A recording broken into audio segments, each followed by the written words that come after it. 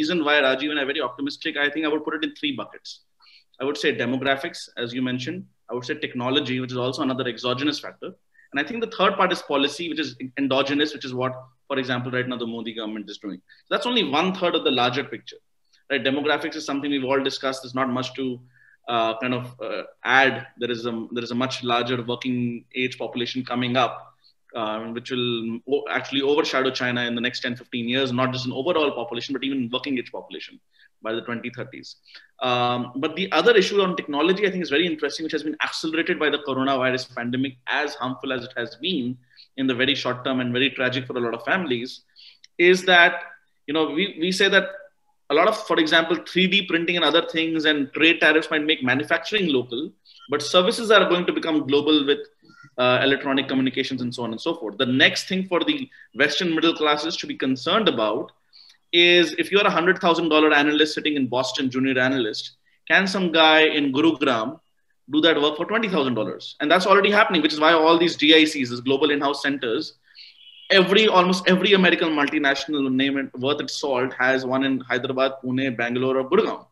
And I think that will only accelerate because the economics of that is so obvious. It's staring you in the face, and the and the supply of quality educated Indians, as as much as the issue remains, and at a larger level, this is sheer numbers are so high that, and now with the work from home being normalized, having Zoom conversations being normalized, we are waiting for 5G, we are waiting for augmented reality and virtual reality.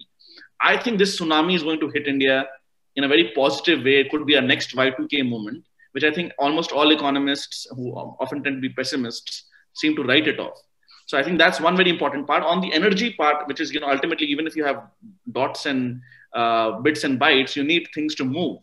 And I think India is like China, an energy restrained, uh, you know, constrained economy. We import a lot of fuel, but in the next three four years, I think renewable along with storage will hit without any subsidies a mass commercially viable level. You could have you could replace cars with uh, with hybrids and later on with pure electrics and I think, and that changes your current account balance much more. Whatever has changed in this year, the rupee appreciates. And finally, there is a certain kind of size begetting more size. What I mean by that, I wrote an article recently in Mint. If you become larger, you open up your debt markets as we are slowly opening up our debt markets, and you have higher debt to GDP ratio counterintuitively, your debt yields fall. You know, because the world actually needs a lot of safe paper uh, and and that is something that we kind of miss. You know, China is actually going through a lot of yield uh, compression, even with all the problems of geopolitics and geoeconomics. So as India becomes richer, our actually borrowing costs will fall dramatically.